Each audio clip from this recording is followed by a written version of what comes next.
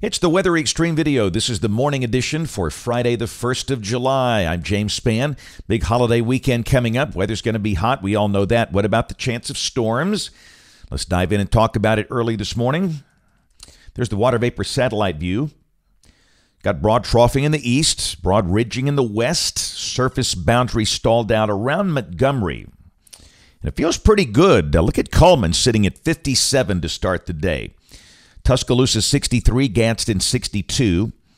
Warmer in the city, Birmingham at 68. We'll expect a high in the low to mid 90s today, but like yesterday, the dew points will stay relatively low, so at least the uh, humidity not that bad. Look at the numbers around the nation. Hey, I see some 40s up north over parts of Minnesota and North Dakota. If you're looking for numbers like that around here, uh, you might want to wait until October. This is the uh, watch warning map got some flash flood issues for parts of Missouri and some of the adjacent states.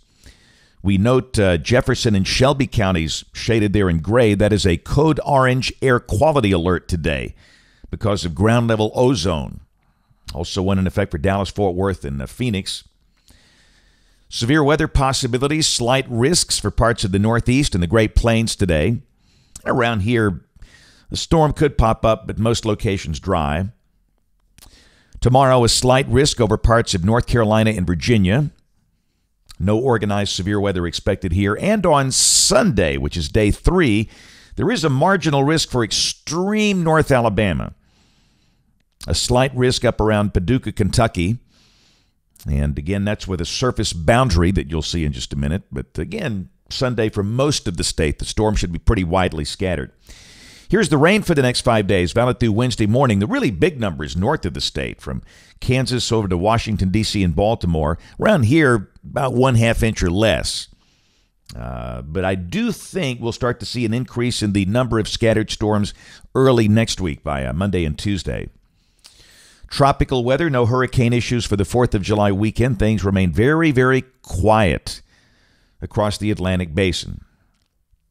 All right, model fans, here we go. The GFS, this is the 06Z run, valid today at 1 o'clock local time. And again, you can see the troughing over the east down below that.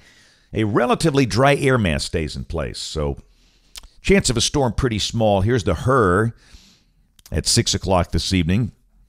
Count about four or five specks out there. So most of the state will be dry. And again, pretty toasty today. The NAM is at 93, the GFS at 94. Don't think the weather changes much tomorrow. A mostly dry day. Storms are possible, yes, but they'll be very widely spaced. Uh, Mid 90s, and the dew points are creeping up too, so be kind of a hot, muggy day. And uh, quite frankly, things don't look a whole lot different on Sunday. Lots of sun, mid 90s. Any storms very isolated. But again, Monday, the 4th of July, the, again, moisture increases, the surface boundary approaches, and that might kick off a few scattered storms. Not to say it's a rainy day. I don't think it will be, but a storm is certainly possible in spots. And this is Tuesday. We're going to stay in a pretty good moisture pool. Highs will drop down to about 90 and scattered storms about, and that'll be the theme for the week. This is Wednesday and Thursday. I promise these are different maps. They just look the same. And you see that big massive green. That's not to say it's just going to rain the whole time. That just means uh, moist, unstable air with scattered storms, mainly during the afternoon and evening hours. And I'd say for a pretty good chunk of next week, highs will be between 90 and 93.